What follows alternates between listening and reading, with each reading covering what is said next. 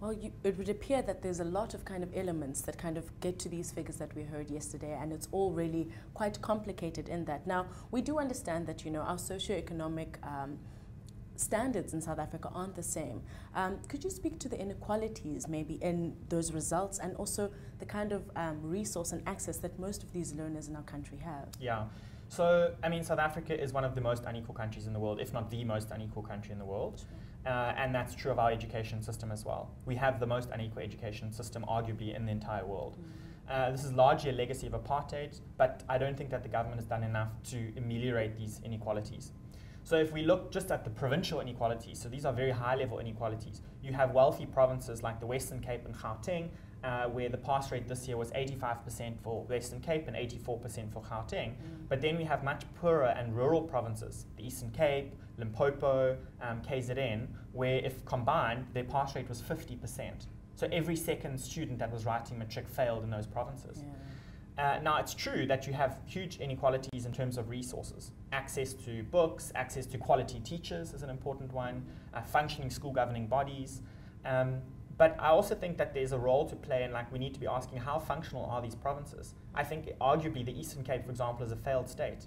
I think that it is so dysfunctional and so captured by special interests uh, and union issues. I mean, uh, just the other day, the minister was commenting on Professor John Volmink's report into the sale of teaching posts uh, and exposing the, the sort of rot in the system. And she said that SADTU has a quote unquote stranglehold on the education system in these provinces. This is from the Minister of Education. Mm. This is not just someone speculating uh, and saying, you know, drastic things. This is an admission from the top person in education that this is a severe issue that needs to be addressed. And I think until they address it, doesn't matter how many resources we pump into those provinces, we're not going to see improvements because they're not functional provinces. Mm. So, I mean, we, we understand that there's a really a disparity in terms of access um, to resources and even just province issues. Are you, let's say you're from the Eastern Cape and you are studying incredibly hard, does this mean that, you know, you have no real chance of making a success of yourself if you come from a province like the Eastern Cape?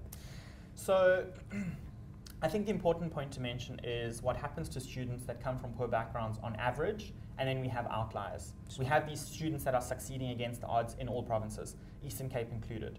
Uh, you have students that somehow manage to succeed in spite of the fact that they might have teachers uh, that are not committed to their work, uh, and maybe the, the school doesn't operate like it should, and yet somehow these students manage to succeed. Maybe they have a passionate teacher, maybe they have a passionate parent or guardian or grandparent that really drives things home. Maybe they're part of a, a program. Uh, I mean, just this morning before I came here, um, I was speaking to someone about uh, a learner that's just found out now that she got five A's, and she's in Tembisa Township uh, in Gauteng. She's part of a, a program called Ikamva Youth that aims to try and uplift these students uh, and give them the opportunities by mentoring each other and helping each other with homework after school. So these kind of opportunities are extremely important and we need to celebrate those successes. I mean, that student now wants to go and study medicine at WITS. This is an incredible success story. Absolutely. Uh, and I think Ikamva Youth is an incredible program. Um, but we need, to we need to identify and stress the fact that these are outliers. These are the exception. This is not the rule.